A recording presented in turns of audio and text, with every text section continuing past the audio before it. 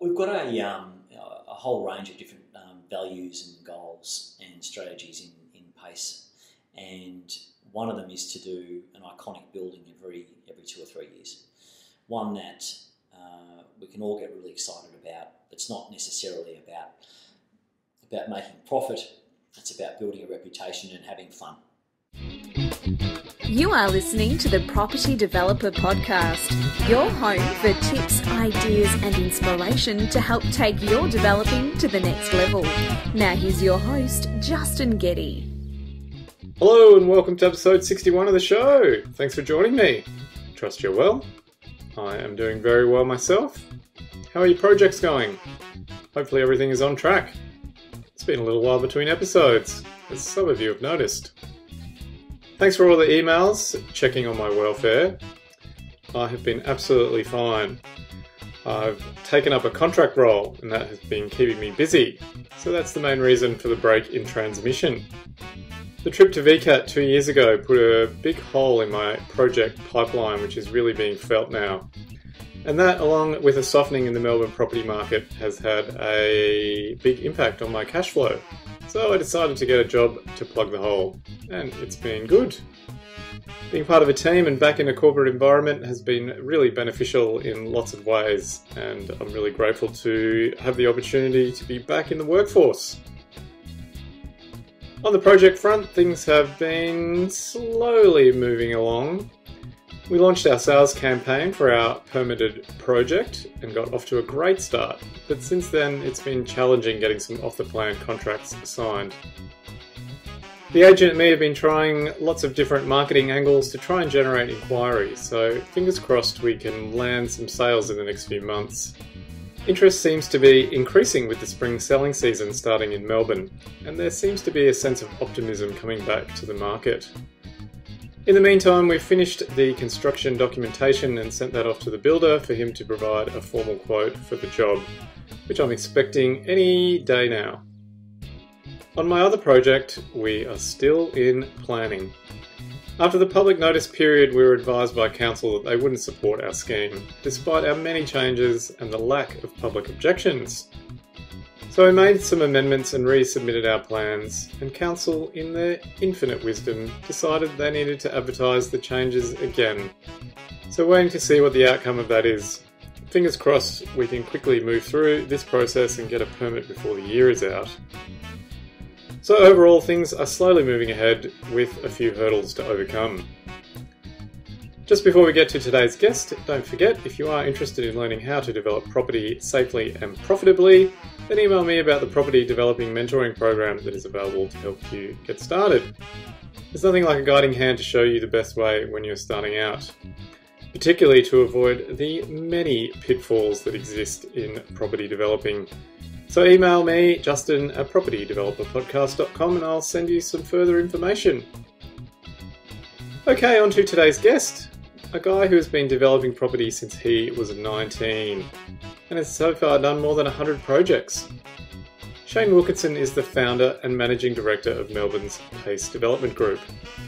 Over 21 years, Pace has delivered more than 2,000 homes and more than $2 billion worth of real estate, including one of Melbourne's most recognisable buildings, the Icon, overlooking St Kilda Junction. Anyone who's been to Melbourne and been to St Kilda will recognise the colourful building at the junction that uh, is very striking. The company has four projects currently under construction, three settling later this year, and a further 1,758 apartments, if you don't mind, in its pipeline. It's a long way from Shane's humble beginnings doing a simple duplex project in suburban Melbourne. We have a great conversation covering a host of topics, including what Shane has learnt along the way, the biggest pickle he has found himself in, and the one thing you need to focus on if you want to succeed in property developing. Also, keep an ear out for Shane's advice for how to deal with problems. This is a broad discussion which I'm sure you will enjoy. As usual, I started off by asking Shane what food he would eat until he was sick, and his answer was very simple. I'd have to be donuts, I'd say. Old school, just the traditional ones. Probably cinnamon, traditional cinnamon, cinnamon, yeah, yeah, old school. Even some churros would be lovely too. some churros. Oh, that's a bit fancy. It is. It is. the uh, the donut's gone a bit fancy these days, haven't it? yeah, I think you can get a number of different uh, different variations on those donuts now, can't you? Well, they've gone a bit crazy price wise. They're sort of you're getting up five, Get six bucks six for pack, a donut. The, custard ones, the Oh yeah, custard donuts. A Custard bit soft spot there. Mm.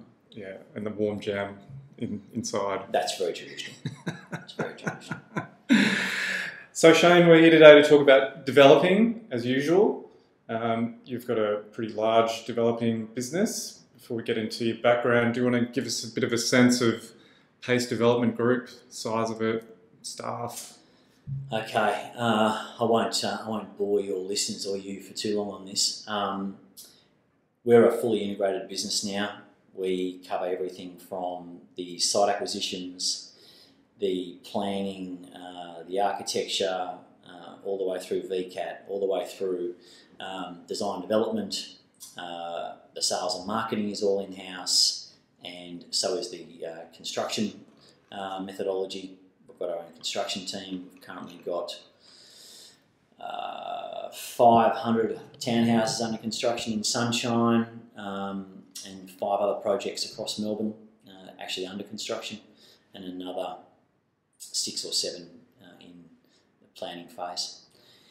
We also own a company called Melbourne Joinery and Stone, so we do all our own stone and all our own joinery kitchens, wardrobes, uh, laundries, which is a standalone uh, business out in Mordialloc, so we, we manufacture locally. And we've got somewhere in the vicinity of 110 to 115 staff, something along those lines, across the uh, across the whole business. That's pretty impressive. But you, you started off your early days doing humble townhouse developments down in the southern Bayside area of Melbourne. did. Can you take us back to the, the beginning and how you got into developing? I don't know how far back you want me to go. Let's go back to the beginning and work our way from there. Oh, look, I started at um, uh, I did engineering at uh, at Monash, and uh, left engineering at Monash for a builders clo- builders course at uh, Holmesglen TAFE. I think I was nineteen. I finished school when I was se- finished HSC in those days. For listeners who are young, they won't. That's the old variation of VCE. Um, and then I finished my builders course when I was 19 and a half or just turned 20 and bought a property in the Bayside suburb of Highett, um, number 15 Barnett Street to be exact. Paid $113,000. I don't now remember this crap, but um, $113,000 for it. In those days, you could put a dual occupancy as of right without having to apply for a planning permit. So I proceeded to use my uh, newfound skill set to build a, uh, a single story villa unit at the rear of this old existing weatherboard home, um, which I did. And it's still standing today. I think I drove past the thing a couple of years ago to make sure it was still standing, but that's uh, that's nearly 25, uh, 25 years ago. Um, so a long time ago. You'd be lucky to buy a front door in Highett for 100000 these days. Yeah, I think the house opposite is exactly the same and just sold for about a million dollars or something. So it gives an indication the last 25 years how property prices in that uh, in that vicinity have, uh, have changed. Yeah, so duplex and then Um, sold that. Uh, I think I was, I was working three or four jobs at the time, so I was still um, uh, still working. Not not development or building wasn't my main uh, source of income at that point, and poured every dollar that we had into that uh, into that venture. Bearing in mind it was 1992, and if anyone remembers 1992, it's the worst property crash that we've uh, we've ever had. Um, I think I made the grand total of about seven grand, and if I worked out my labour cost, I think I would have been backwards. But somehow I uh, I gathered the strength and continued. Um, I remember just another quick point about family and what have you. I was three thousand dollars short on settling because I couldn't get the amount of bank finance that I needed to get, and I remember um, going to see my grandmother at that time and uh, begged and pleaded for, for three grand, um, and she gave it to me. Luckily, a day before settlement, we settled it, and uh, and that was mum and dad. I asked, and they said no. So um, I was going to forfeit the ten percent deposit that we paid, and I was you know, late late nineteen, maybe just twenty. And this is all uh, this is all happening. And then uh, look, well, Did you pay your grandma back? pardon. Did you pay your grandma back? Yes, I did. Or did With she just with get an interest. equity stake in the? with interest, with interest. but then, um, then she uh, she gave it back to me uh, when she passed away. so a little bit of a, a interesting uh, uh, nuance there. But yeah, I'm sure she had a laugh about that. Uh, sold those two those two homes for something like about 110 or 115 thousand dollars each, and uh, went and bought another property in Moorabbin. In those days, it was Moorabbin, not Hampton East. It's been rezoned in the last uh, 20 odd years.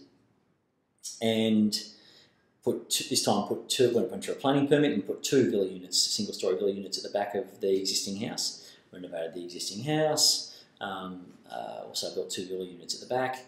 Sold the um, the old house at the front first. Used that money and the ones at the rear. Da, da, da. This is not an old story. It's um, you know I'm sure many people in Australia or around the world have done this um, done this technique. And I was also doing small building jobs for other people, and came to the conclusion over my early, very early twenties that it's better just to do it for ourselves. So we sold those three and continued to buy, and we went into another two properties, and uh, then it went to five villa units and five townhouses to ten townhouses to twenty townhouses. Um, slowly got into into shop top dwellings in Highett, Hampton, Brighton, buying shops and putting um, putting small apartments either on the top or at the back. And that evolution has just continued in the last 25 years. And um, um, this year we'll probably deliver, or between now, or what are we now? We're in September. Um, between now and the end of the year, we've got to deliver close to 400 uh, apartments and townhouses between now and uh, I'll hand them over to their new buyers. So that's the, it's obviously a substantial amount of discussion and um, little wins, little successes, all the way through that that uh, that twenty. I've just I've just missed twenty years um, of the evolution. So if you'd like to delve into that at some point, I'm more than happy for you to ask me any question you like. Yeah, well, if you jump onto the PACE website and go through the past uh, projects page, it's pretty long. yeah, we've done well over 100 projects and um, obviously varying in size, but each one we try and make sure it's better than the next.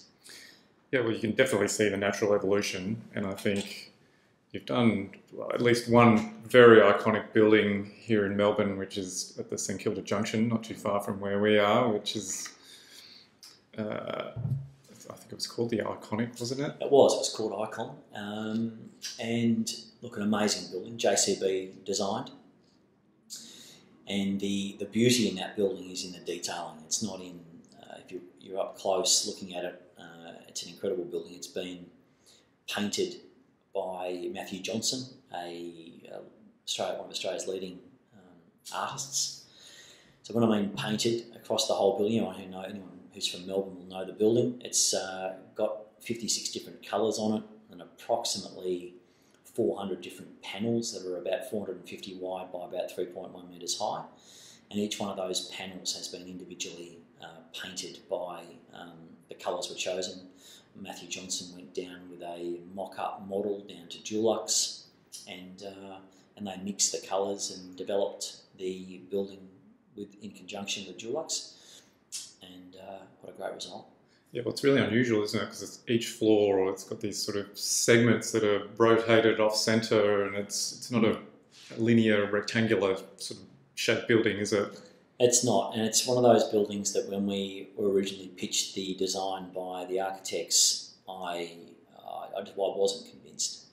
And to be completely frank with you, um, it was they were relatively hard to sell. Uh, it was a market we were in end of 2015, 2016. Um, I at that point thought that the market was not going in the right direction, and we got them across the line and they ended up selling. But now driving past the building, I'm immensely proud. It's, So- it's amazing. I mean, I ride past through the junction quite often, and you just can't help it. You look Your like eye line. Look how bloody fit you are. There's no camera here. Trust me, he's fit. That's all right. The two of us have got good heads for podcasting. Um, yeah, and it's certainly an eye-catching building. But but talk, talk us through that when the architect comes to you with a concept and you go, I'm not really sure about this. How did you? Why did you proceed with it? Oh, look, we've got a, um, a whole range of different um, values and goals and strategies in, in PACE, and one of them is to do an iconic building every every two or three years.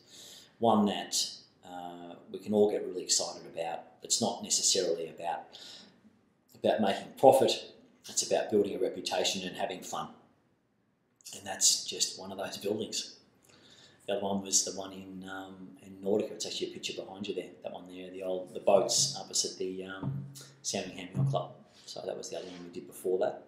And the next one is uh, is Flemington, which uh, we're we're hopefully getting planning approval for that over the next couple of months. Yeah, well, speaking of having fun, I don't think you had a lot of fun going through the planning process for for the icon, did you? No, no, I think we had 300 and something objections, and I remember it being on Channel 7 News at some point, and uh, it got a lot of uh, a lot of negative press. But I even remember the VCAT member's name, um, uh, and gee, he, he backed us, and uh, very, very happy he did. Yeah, I think I read somewhere that you, once you had all the objections, you were kind of questioning whether or not this was the right thing to do or the way to go, but you decided to push ahead. What, We did, we, and we put traditional car parking in there too. So it's got five. It's five levels underground. Anyone who knows anything about construction, it's a very small site. It's about thousand square meters, and we are uh, every bit of eighteen or nineteen meters into the ground, including the footings and the, and the structure. So a very very difficult build. Um, there's some cantilevers there that are four or five meters uh, off, off, offsetting from levels above. Um, it was a, it was a complex build and a very difficult one, challenging, but bloody exciting. It was fun. It got the team rallied. We looked at different te- techniques from around the world about how to how to build it structurally, um, and it was fun. I'm sure you've had to deal with a lot of objections having done over 100 projects. What's your advice for, for dealing with those, or how have you gone coping with them? Uh, look, I, each project requires a different um, different cocktail solution, and VCAT's gone in in different waves over the last twenty years. There were times fifteen years ago when you were you were very very confident that VCAT was going to give you a positive result if you did the right things, and as the framing, uh, the, the structural framing of planning gets better and better, which it has over the last certainly the last ten years, and it's getting better as we as we go forward. Where what I mean by that is that the government and councils are allocating areas that are developable. These are the go zones, and they're they're quarantining, if you like, residential areas where they're no go zones. So you- you're not a smart, educated developer who's who's savvy knows the areas that are go zones and buys the appropriate property, and therefore reduces your amount of conflict and the amount of tension and the amount of friction to get a planning permit. Well, as someone as someone who's bought in one of those go zones and not had a successful outcome at VCAT, I'll uh, I'll uh, have to waver on that one. but you've obviously had a few trips to VCAT over the years, I presume. I think I've been there about probably 50, 50 or 60 times. And what's the strike rate like? Oh, look, we get we always get there in the end. Some some we lose and we, we go back. So Wellington Street, St Kilda, um, uh, High Street, Mount Waverley. Just recently, in the last couple of years, we lost them at, at VCAT and uh, went back to the drawing board. Uh, and VCAT are great these days. They give you most members will give you uh, some guidelines about. Look, we like this. We didn't like this. This is why we refused it and this is how you can possibly rectify it and uh, tweak the drawings and go back to come back to us and we'll give you a good show.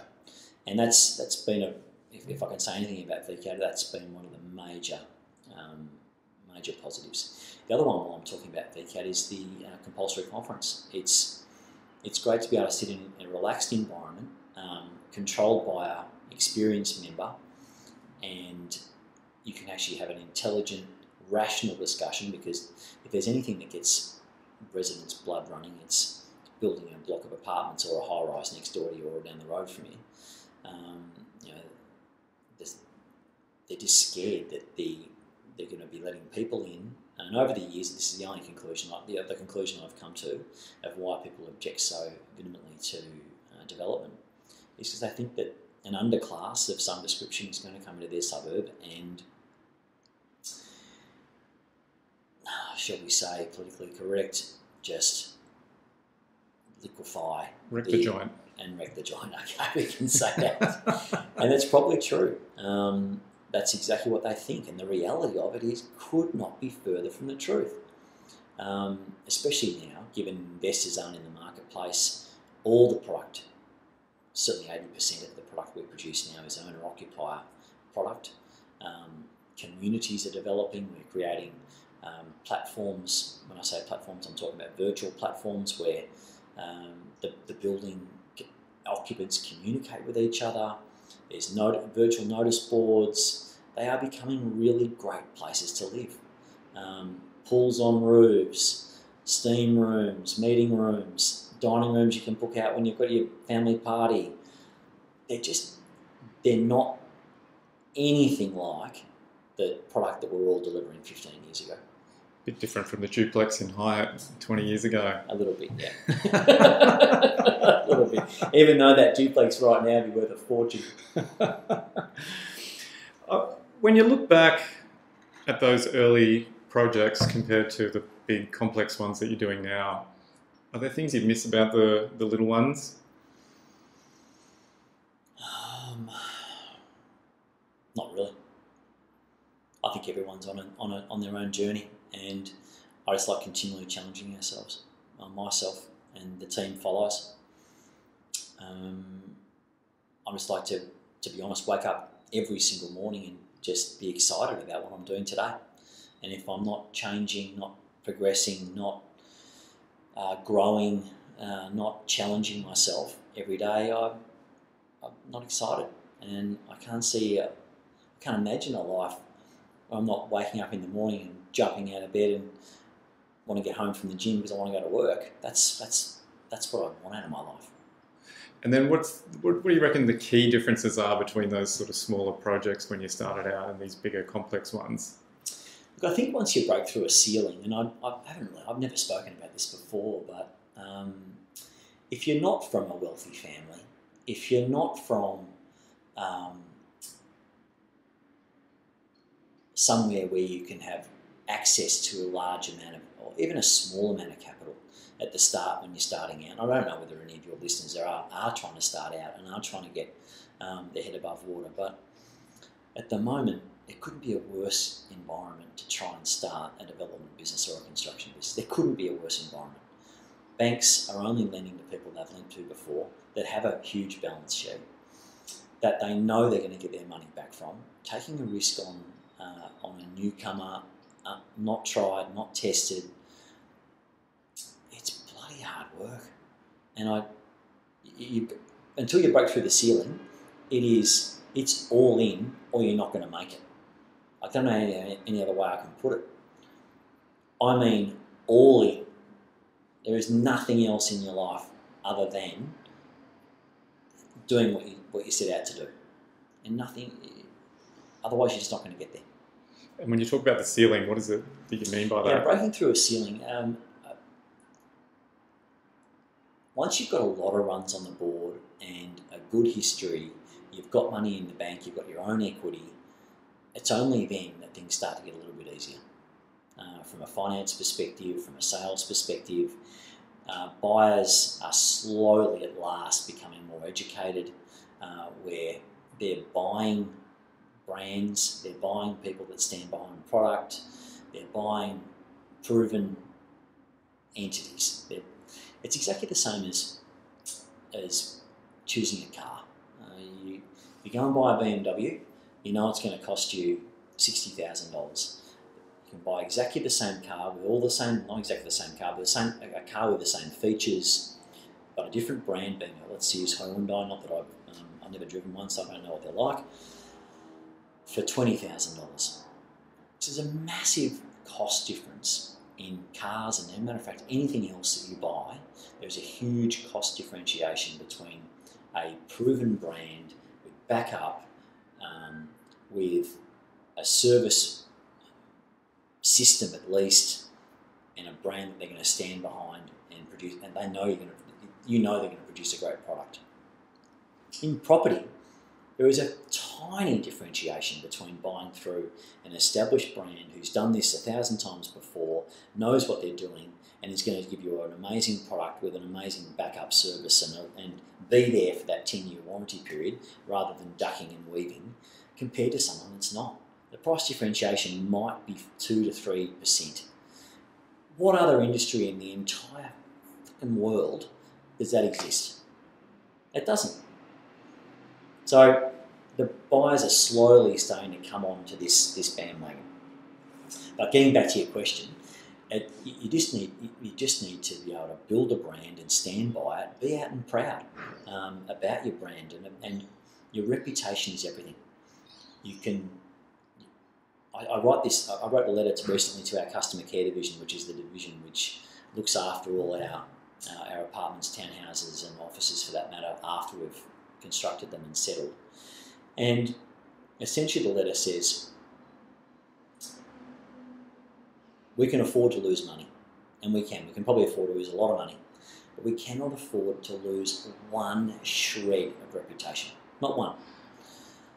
It takes decades to build and minutes to lose. So place yourself in the position of the, the customer, place yourself in the position of the homeowner, and and be have common sense. That's essentially the internal document that's been circulated, and I truly believe it. And so you've obviously had to take some risks over time, or perhaps you perceive that you haven't, in terms of getting bigger, doing bigger projects. when you talk about going all in, I mean, is that still the case, or do you get to a level where your risk tolerance moderates, or do you just keep yeah, I think rolling the dice? At the start of uh, anyone's career in any industry, it's it's all in. Uh, if, and a bank is not going to give you any money if you are not all in. Now, I mean, I'm not saying all in from a from a finance perspective. Of course, you have to be in all finance from a finance perspective, but I mean from a dedication um, perspective. There is nothing else in your life other than what you're trying to achieve. Um, and to obtain finance from a bank, you need to be able to let them see your passion, see you, that you're going to stand behind, and, and they're going to get their money back because you really can't start um, a development business or a building business without a, a some sort of um, finance from a bank or from a second tier lender, which are taking up you know, MaxCaps, your Qualitas um, of the world are, are, taking a large share of what the banks used to do. I mean, in perspective, it's not a, not a huge amount from the banks, but um, that's another subject for another discussion, I'm sure. And so I'm guessing is, finance is something that's probably got a bit more complicated from the from years ago in terms of the project structures. Is that the case? Do you have to get more sophisticated with how you stru- uh, finance and structure your deals, or is it there just there's more zeros um, involved? No, look, it, it, doesn't matter what size the project is these days. It, it needs it's, it's very complex if I look back 20 years ago, or even 15 years ago, it was it was pretty linear, pretty simple. Um, bankers and finances were sophisticated in certain areas, but certainly you look back at it now, very very simple. Um, now it's all about risk mitigation. It's about uh, qualifying pre-sales. It's about um, the market acceptance of your product. It's about what these products are going to be uh, valued at the end. Can people settle? Um, what's the uh, what's the horizon on the project? Therefore, what's the market going to be like, and what's the valuation market going to be like in there? And how it, there, it is. It's a complicated cocktail, and I don't know any other way to say it. It you just need to have all your bases covered. And if you buy a site, you need really good planning advice. And I know that the biggest risk in any any site we've ever bought is always planning. It's always planning. It has such a major impact on the overall development. Yeah, I mean, I've found the planning process to be getting more challenging and taking longer. I don't know, is that your experience? Look, it is. Um, but look, we, we allow more time now to to talk to councils, but we do so much due diligence before we buy a site. There's no um, see a site in the morning like I used to do 20 years ago and buying it in the afternoon. um, you know, those days are well gone. Uh, there are a number of people you've got to bring along for the ride in that DD process, and sometimes that can take a number of weeks. Um, environmental concerns are huge. Um, uh, geotechnical issues are huge. Rock, water tables. Um, it's it's complicated. Uh, you've got to bring your financier along for the ride as well to make sure that you've got backing. Not that we have to do that anymore, um, but certainly years gone by we had to make sure that all the pieces were in the puzzle before we bought a site. A little bit more flexibility now, we're a bit bigger, but yeah, those fundamentals still apply. Do you reckon you still get a gut feel when you look at a site? Of course, Yeah. of course, and and you you've got to make sure that you don't let that gut feel override the data, the facts. What is the likelihood and what is the risk profile of getting X planning permit above Y? I.e., can you get 160 apartments or can you get 130? What size are they? What's the mix got to be? Um, what's in the, what's the buyer market, the buyer profile right now? Uh, when are investors returning to the market? Are they? Uh, is there a bonus for first home buyers? So therefore, you've got to try and you've got to try and look into the crystal ball and, and design your project around what you anticipate the market to be wanting in 18 months to two years, or when do you think you can get the thing onto the market after you've got the planning permit? So, of course, you can make modifications along the way and combine and split and what have you, but there's also delays with that. You try and get as close to the dartboard as you possibly can imagine. Of course, we, we don't get it right all the time, no matter how experienced we are. We've got a huge team um, here that, that that's all they do, and we still we still get it wrong. Yeah, well, there's so many moving parts in a development, and as you talk, as you say, the, the length of time that they take to go from idea to completion is so long, and things can, so many things can change in between. Um, I mean, I know myself bought a site, top of the market, heat comes out, suddenly you're in a completely different market trying to sell, but knowing when it's finished, it's going to be a different market again, but you've got to deal with what's in front of you. You do, Yeah. you do. And if it's if you've got debt on it, it's not returning any money. You can only hold that thing for so long. And so I guess you've come up with a fairly detailed due diligence checklist that you go through now for a, for a site. We do, yeah, we do. It's as I said, alluded to before. It's a very long and detailed um, list, but it starts with planning and goes all the way through to uh, environmental issues. It goes through to what the neighbours are. Um, in some cases, we may even go and see the neighbours and talk to them, um, either view of combining that to the site and making it larger, or to at least notify them that, and see how um, what, their feeling is towards it, and if they if they know what's what's happening.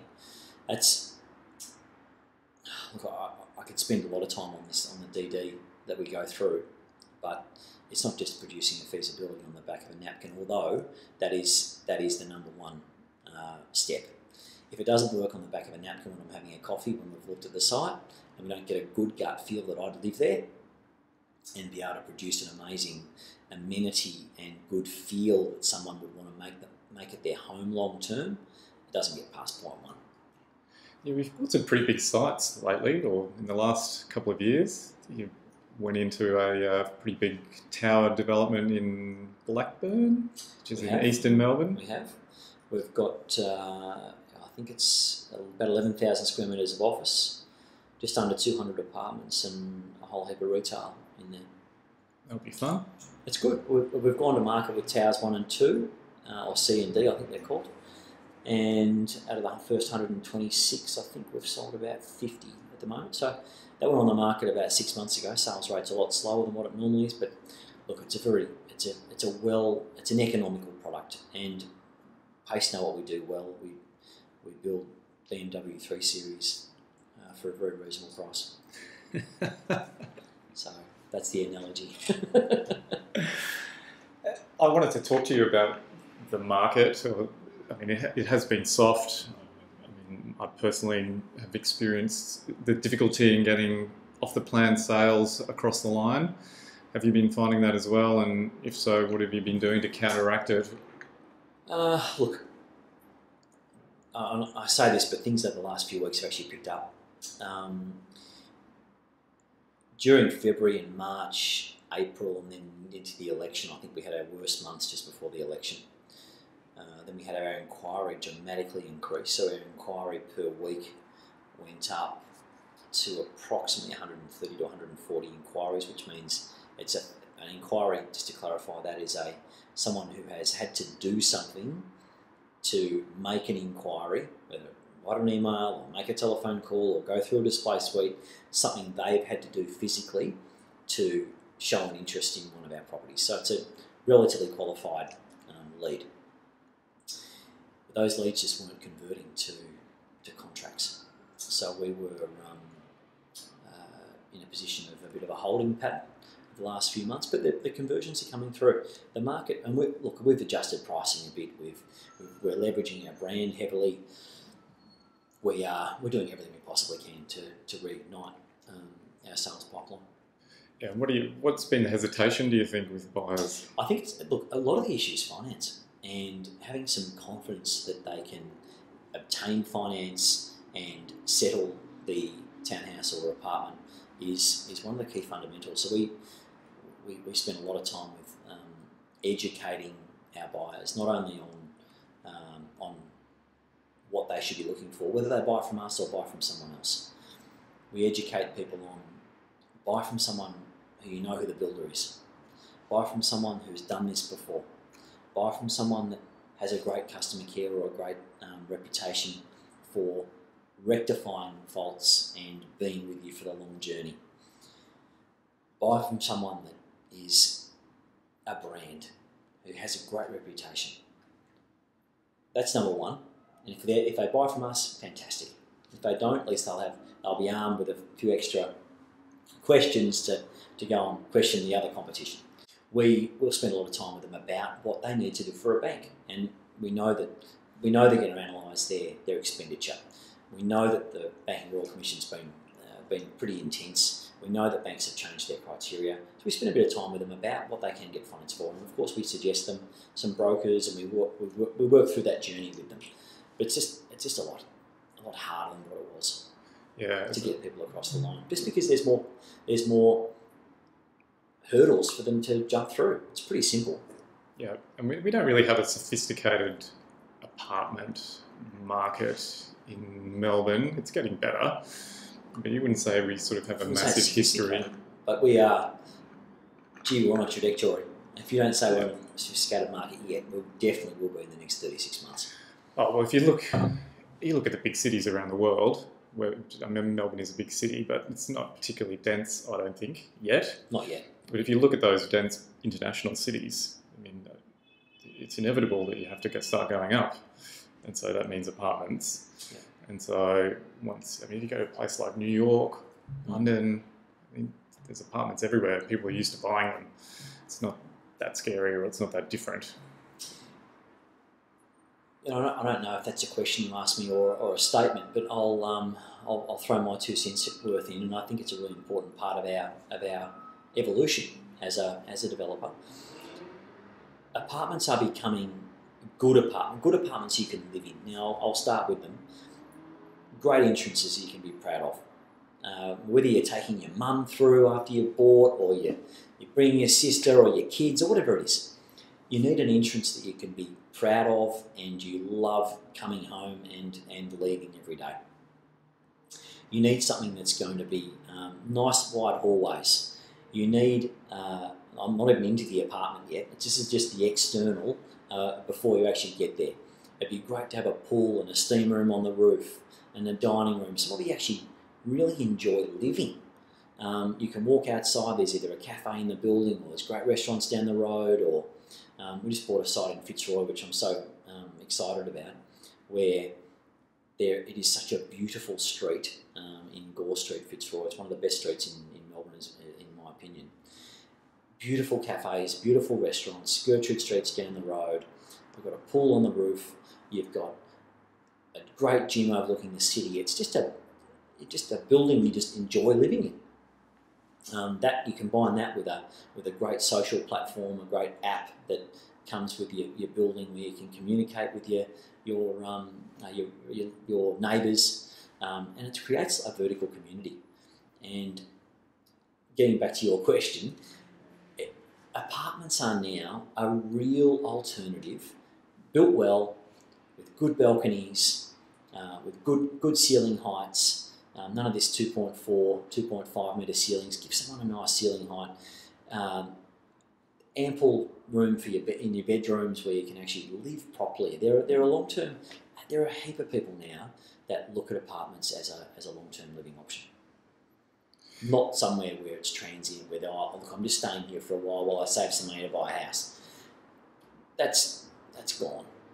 Well, it's getting so expensive to buy a house Yeah, it's true, in it's true, Australia, or particularly in Melbourne. This is It's that true. idea of buying a 650 square metre block of land or whatever it is is really, really difficult. So, holding stock, what's your view on that? Do you keep some of what you build? Do you, Um, or you sell it all down?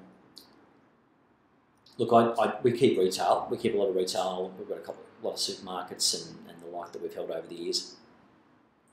But as far as stock goes, as far as um, apartment completed residential stock, we'll keep some, but it's not our intention to be uh, long-term holders of uh, residential stock. No, Okay.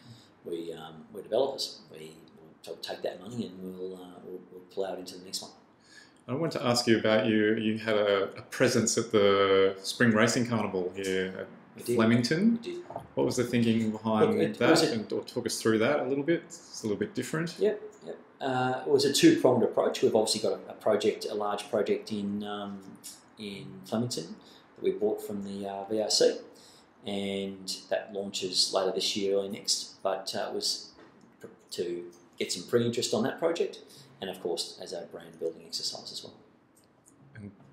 Were you happy with it? Are you doing it again this year? Oh, look, we, we, we really enjoyed it. It was a, it was a, it was a heap of fun. Uh, we, we're not doing it again this year, but uh, that's not to say we won't do it uh, in another time. Yeah. And you, I mean, you're a builder by trade or from the start. Do you reckon that gives you an advantage when you're a developer? I mean, you can look at plans, or you can streamline construction methods, or you've got a much better idea about how buildability or how things will be built. I reckon you can answer that one on your own. Well, I would have thought so. Uh, absolutely, yes, yeah, yeah, absolutely. It's, it goes without saying. Um, a lot of the team members here at Pace have been with me for you know 5, 10, 15, 20 years in some cases, and they the, the, the building knowledge is so deep in the organisation that when we're looking at an amazing design from an architect, which I know we're going through at the moment with Flemington because it's got, I think we're up to a number of 28 pools across the development. It's there are 26 very large penthouses ranging from 250 square metres up to 600 square metres. Um, it's an it's it's an incredible uh, building, and I know that the depth of of structure and efficiency um, techniques go go run deep in the organisation, and that's such a bonus. We know how big mechanical rooms have got to be got to be. We know how, how large and what, how many lifts we need, and how we can do it, how we can efficient make make the structure as efficient as possible. Loading docks. So it's all we don't need to refer out to a um, to a third party builder. Of course, that's a major major um, advantage. Yeah, and I remember we were talking earlier um, about vertical inter- vertical integration, and We you're focusing more on that over the, the coming were. years. We were. Um, look, in, we, we would look at other businesses other than our Joinery and Stone business to, as long as it fitted with us from a vertical integration perspective, um, and even better if it fitted uh, with where I see the construction industry going and making us more technologically savvy, uh, making us less labour intensive, um, focusing on environmental issues, recycling the water, um, solar as their um, supply of energy with batteries and basic AI, which I um, spoke to a journalist a few weeks ago about. Um, one of our projects in Sunshine, we've got solar panels on the roof and basic artificial intelligence that controls the amount of power that is used. It understands your uh, your habits. It knows when you're here, knows when you're not. Um, buys back from the grid at a very low rate during the night to charge the battery if need be. Obviously, clearly the solar will charge the battery during the day. It will sell back to the grid if you're at work at the high rate. The variations at the moment are, are three times. So if you are buying it at night time, you're, you're paying a third of what you are during peak um, uh, peak demand times uh, at night or in that early evening. So you can, with some, yeah, this, this, this is not not rocket science. This is no Tesla vehicle we're talking about. This is basic artificial intelligence that assesses every few minutes what the what the rate of electricity is, what you can sell it for, and knowing your uh, movements and being able to trade energy um, to either your townhouse neighbours or external from the development altogether. And we, in our view, we, we can, I, I think we're, if we're successful, we will have a zero bill for all those um, all those occupants with a small amount of solar cells on their roof, Oh, which is great. result. Which is great. And I think from memory, it'll be the first in Australia to do this, uh, which we're really excited about. Oh, that If we, if we find a vertically integrated business that suits that, we would we would look at acquiring that as well. But yeah. So, looking back over the 21 year journey, what do you reckon you've learnt or about yourself along the way?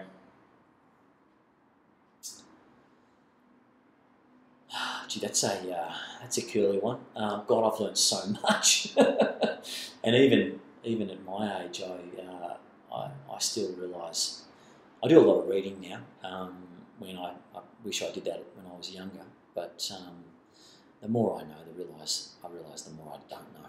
To be honest with you, it's it's such an evolving um, evolving beast, the development industry and really enjoyable. It's fun, but I think you made the comment before. It's the biggest cottage industry in uh, in the world, and I couldn't agree with you more. And what excites me more than anything else at the moment is being able to be involved in what I consider is going to be the biggest revolution in our industry in the next ten years. Which is what? Reducing labour, finding different ways of building houses, townhouses, and apartments in much more efficient ways. Whether it be in factories, you're producing building components, all by robotics or automation, um, taken out on flatbed trucks and erected by crane in days or weeks rather than years. Um, te- this technology exists already in, in car manufacturing plants uh, all over the world. Why doesn't exist with, with building in Australia or anywhere else for that matter? Yeah, well, it's funny how you can take lessons from another industry and apply them to a new industry, and it seems revolutionary. Because I know apparently Henry Ford picked up the production line technique from um, from an abattoir, with the way the carcasses were just rolling along the line. I And he didn't went, know that, but that's amazing. and he went, why can't we do that with cars? Mm. they were just rolling the carcass down the line, slicing bits off. Apparently, that's the Beautiful. inspiration for the production line. We could do that. We can do that with with components of a, of, a, of, a, of an apartment block or a hotel or an office. Well, we've got Hadrian out there now, don't we? The robotic bricklayer. We do, we do, but I think there's he needs some development. Oh, really? oh, I think that oh, that's a it's a good step though. That's a good step, really good step. And Oh, I know I've been delayed on a project because of bricklayers. mm, Just they're so busy. Got to wait for them to be able to. I see you must, up. you must have got your pre-sales across the line. Oh, this was the- reclaim. This is the last project. okay. no, pre-sales very slow with the current project, unfortunately. All Uh, you said you learn. You're reading more. What What are you reading? Not magazines I, with. read, I um, read a lot of biographies uh, now, so I try to take lessons from other people and apply it to my own life. Um, so I hope that there'll be a small element of making less mistakes. What's which biography of, or which person jumps right, to mind? At, right now, I'm reading Phil Knight, who was the founder of um, of Nike. oh, Shoe Dog. Is that the Yes, book? Shoe Dog. Yeah, yeah, good right. book. Good book. Good book. So I'm halfway through that. Oh, very good. What would you do differently if you had to start all over again?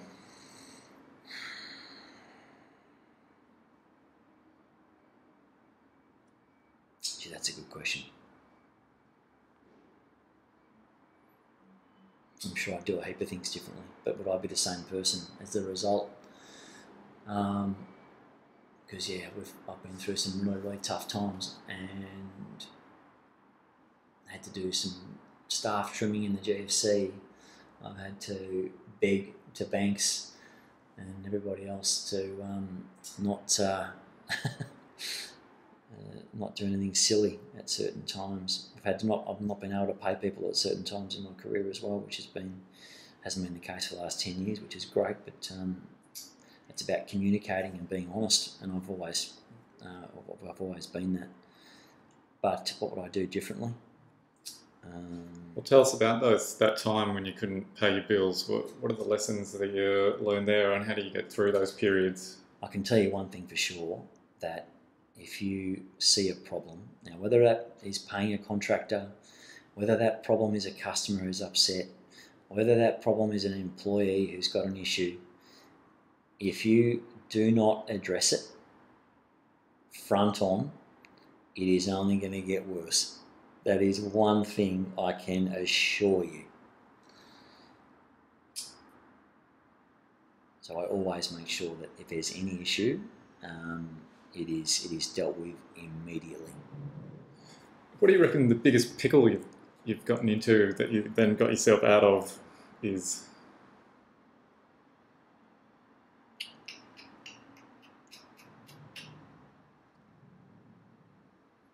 Oh, I can't think of one right now. I've been in a heap. You but, put it, um, you put it in the uh, forget been box. in a heap. Oh, I try and focus on the good things, but I'm sure I've learned a heap from the bad. Look, I've made thousands of mistakes, thousands of mistakes, and it's every time I make a mistake, it's it's I try and learn from it. I do learn from it, and get up and uh, and and reset and go it again. Um, on many occasions, we've lost planning permit applications at VCAT. Many occasions, and at no stage have we have I thrown the towel in and uh, and sold it. We've always picked myself up, picked ourselves up, um, redesigned it, gone back to VCAT, and delivered the project. So there's not one project that we've um, we've on sold in that uh, in that advisor. Not that I've learned anything about that. It's just I found it easier that the person who knows the project the best is probably the best one to get the planning permit in the end. That doesn't answer your question at all. So I don't. Um, yeah, I- I'm in pickles every day. I've got 15 pickles outside that door right now uh, that need solving. So, is any major one? We've never had any major ones. Always, uh, if there's a major one, it's always with a bank. Actually, I do know one. Um, we were doing 150 units, 160, 165 units in Parkville about four or five, or more longer, six or seven years ago. And we were three quarters way through construction, and um, I was sitting at home and uh, watching the news, and the East West Link got announced, and the East West Link was going straight through our building. so I had a, uh, a very large mortgage at that point. I think it was in the vicinity of about fifty or sixty million dollars with um, the ANZ, and I rang uh, I rang our corporate uh, director, the ANZ, straight away, and said this is the first I know about it, first I've heard about it. So we had 165 uh, apartments all sold to um, to individual uh, people. A lot of them first home buyers for that for that sake. And um, the next morning was a, a big strategy meeting about how we're going to work our way out of it. And we instigated a, a plan, a strategy, and it was based on transparency. It was based on honesty. It was based. There was no. The ANZ was was wonderful. Um, the way they behaved. They could have behaved terribly, and they could have um, sold other assets that they had mortgages over. They could have done a whole whole heap of whole heap of things. They didn't, um, and for that, I'm ever grateful. But they, they stuck with us, and uh, we worked. We, we developed the strategy together, and every step of the way, I kept them informed um, of our progress on that strategy. And the government ended up buying us out uh, in, in, in, in our entirety. So, Yes, actually, I remember that one. mm, I remember your name popping up in the media. is the biggest pickle. Yeah, they pay, did they pay everyone out in the end, or Uh, they paid us out, and we um, uh, and the buyers ended up um, they ended up moving the freeway a little bit as Yeah. well to accommodate the uh, the apartment block, and uh, the government still owns it. It's been rented out, I think, to housing um, to solve our housing crisis. Oh, that's a good good example. Hmm. what would be your top tip for developers out there looking to take their business to the next level? Are we talking about um, developers that are just starting out a few years into it, or are we talking about veterans? Uh, probably not so much veterans, but people who are doing projects who are wanting to get into bigger projects. at the moment, right now, I know people are probably going to listen to this podcast for a few years, but we're sitting in 2019 and the market isn't amazing, as we discussed before. Uh, so, launching into a project now without the qualifying pre sales, without an exit strategy, I think it's probably time to stick to your knitting right now. I, I wouldn't advise trying to take things to the next level. If you do have a lot of equity or access to a lot of equity or brand is, is being built, just spend more time building your brand. Spend more time with your customers. Spend more time. I know it sounds so generic and bullshit because it's just what everyone says, but um, the easiest sale you're ever going to make is from an existing customer. So just do the right thing by them and make sure you've got some spare cash in case something goes wrong. Because if you don't, you're going to lose a lot. And so, what do you foresee happening over the next couple of years? Okay. Um, there's so many sectors in that Mm, in that question. Um, there's so many market sectors. There's so many locations. There's so many different variables of that. I'll try and analyse what you, you, you yeah, might, let's um, I don't know, keep it general. Keep it general. Um, in the in the residential market, this is the residential market where you're getting uh, either apartments or townhouses in, in, in Melbourne, in in, in, in, a, in a Melbourne, not the CBD so much, given the height controls that have been instigated. There's not much supply coming on board there. I think you'll see a a dramatic uplift in rents and in investor interest in the latter half of 2020. There's still a lot of stock being delivered in Melbourne in the next 12 months. So a lot of cranes in the air. This product was sold two years ago, two and a half years ago, three years ago in some cases. So we've, you've got to remember that we've still got 10,000 people coming into Melbourne and Victoria every single month. So all those people that are coming in um, have still got housing because it's still being delivered from two and a half years ago. But permit applications and building starts are down by 50 or 60% depending which, um, uh, which stat you're looking at. Blind Freddie can see that we're going to have a housing shortage in 18 months, 24 months. We're going to come out of this thing like a slingshot. And I remember saying this to journalist from Fairfax recently, and the only way the government can, can stop this is by immediately reinstating the stamp duty stamp duty benefit on buying off the plan, which will remove any stamp duty, and you can uh, obviously get get a, an existing stock um, uh, that you still pay stamp duty on the existing on an existing product. That will stimulate the industry immediately and get and get products started in the next five six months, and therefore hopefully when that stock's delivered, the ten thousand people that are coming here every month actually have somewhere to live. Otherwise, you're going to see rents skyrocket, and we are going to have investors jumping over themselves for stock again, and it's just the old merry-go-round.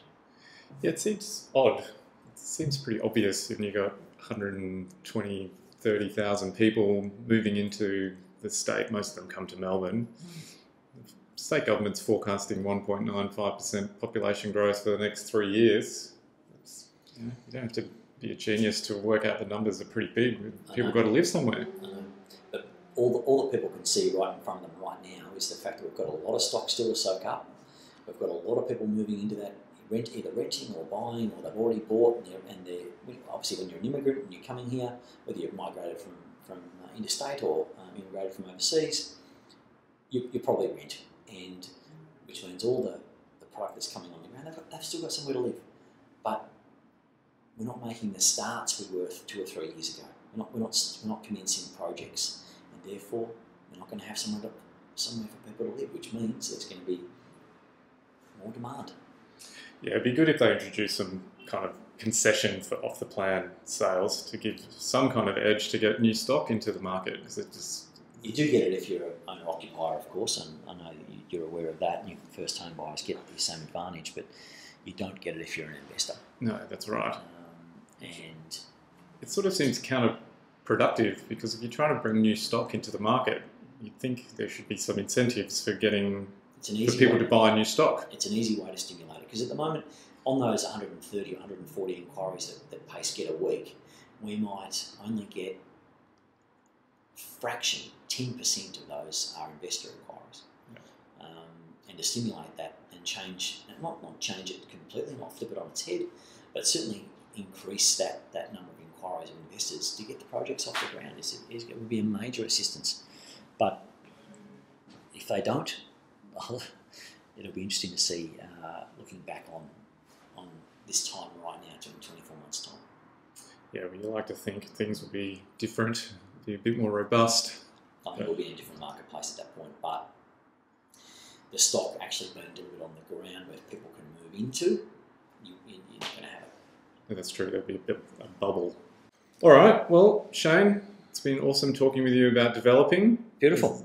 Is, is there anything else you wanted to add before we before we wrap up? No, I'd love to circle back in 24 months and see, uh, and so we can do another one. Well, you- you'll, you'll have to get a uh, another stand out at the races, and we'll do it live, live from Flemington during the racing carnival. Uh, that sounds good. It's a good way to blow half a million dollars. nice atmosphere in the background. Great. All right, thank you very much. That's all right. If people want to find out more about you or the business, where should they go? Oh, I think there's a bit of a profile on me on uh, on our website, but uh, Which is what Pace Development Group. um, www.pacedg.com.au. All right, Shane Wilkinson from Pace Development Group. Thanks so much for being on the Property Developer Podcast. My pleasure. Thank See you later. See ya. Cheers. Okay, there you go. Another cracking conversation with a guy who has gone all in on his developing career. I hope you enjoyed that discussion as much as I did because there is lots of gold in there about how you can make it as a successful developer. Here's a couple of things I took out of that chat.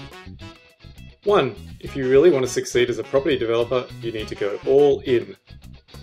Shane made it clear that he has gone all in with his developing, and in his view, that is what you need to do if you really want to succeed. He has slowly built up the business from humble beginnings and has broken through that ceiling that he spoke about. And now his company has the balance sheet to take on big projects. So, how much are you prepared to go all in? 2. Deal with problems straight away. I like how Shane was really clear that the best way to deal with problems is to tackle them straight away. Don't let them fester or get out of control. Deal with them early and move on. Simple but powerful advice. 3. Learn from your mistakes and keep going. Shane mentioned that he has made thousands of mistakes over the years, but he's picked himself up, dusted himself off, learned from it, and kept going. I agree that perseverance is a key trait if you plan on sticking around long term in the developing game. I think the secret is not to make the same mistake twice, and not let the stumbles keep you down. What's the biggest mistake you've made so far in your developing career? Let me know by leaving a comment on the page of this episode, number 61, over at propertydeveloperpodcast.com. All right, if you enjoyed that conversation with Shane Wilkinson, then you should jump into the past episodes of the show and take a listen to my chat with developer Danny Chiama in episode 30. One of my favourite conversations so far. Danny has delivered some beautiful apartment projects and shares some of his lessons, including this gem about ensuring that you buy the right site. It's about choosing the right site, not not choosing a C grade site in a C grade suburb and, and think that it's going to sell well and by the time you've put three, four hundred thousand dollars into the site, you realise it's not going to sell. There is so much bullion in that conversation that it is definitely worth going back and taking a listen to episode 30 at propertydeveloperpodcast.com. Remember to contact me if you're interested in learning how to develop property safely and profitably. Email Justin at propertydeveloperpodcast.com for some info. Don't forget to catch me on Insta and Facebook for all my latest project pics and videos, industry news, and other fun stuff. You can also post a comment on iTunes if you're enjoying the show. And of course, all the past episodes can be found at propertydeveloperpodcast.com. So until next time, may some of your projects become city icons. You've been listening to the Property Developer Podcast. Tune in next time for more tips, ideas, and inspiration to take your developing to the next level. For more developing love, make sure to visit propertydeveloperpodcast.com.